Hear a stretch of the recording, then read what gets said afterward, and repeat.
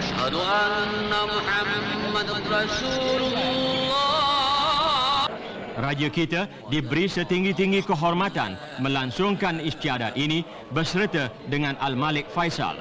Baginda berdua memulakan dengan tawaf sunat mengelilingi Kaabah. Mengikut riwayatnya, Kaabah telah dibina enam kali. Mula-mula oleh malaikat sebelum manusia dijadikan Tuhan. Kemudian Nabi Allah Adam. Selepas itu Nabi Ibrahim dan puteranya Ismail. Dan seterusnya oleh kaum.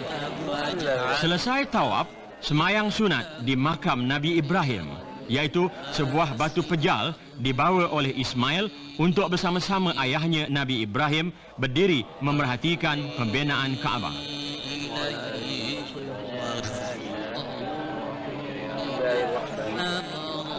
Tamat semayang sunat tawaf, barulah dimulakan istiadat membasuh Kaabah.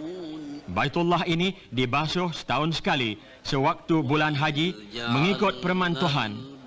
Ingatlah ketika kami jadikan Kaabah tempat manusia berziarah dengan aman sentosa. Sebab itu, ambillah olehmu makam Nabi Ibrahim menjadi tempat sembahyang.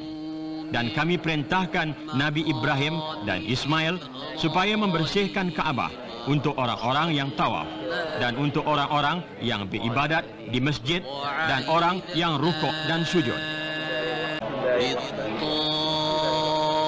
للطائفين والعاكفين والركع السجود